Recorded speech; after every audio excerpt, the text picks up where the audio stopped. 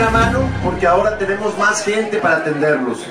Atender a nuestros adultos mayores es una prioridad para nuestro gobierno, a personas con discapacidad.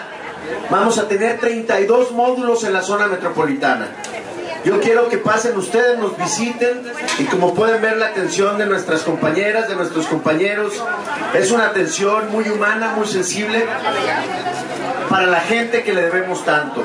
Entonces venimos solamente a saludarlos, vine a verificar el módulo, voy a estar verificando varios módulos para que estén caminando, para que estén dándoles la mejor atención y así día con día poder mejorar la atención a ustedes porque este es un programa inédito.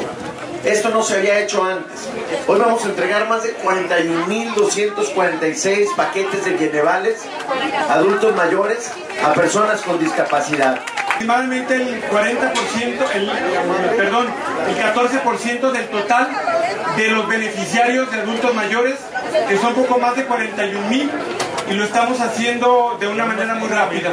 Bienvenido gobernador, aquí está la gente en cajas, también se incrementó en un 20% el número de personas en caja para que la entrega sea muy rápida y eficiente.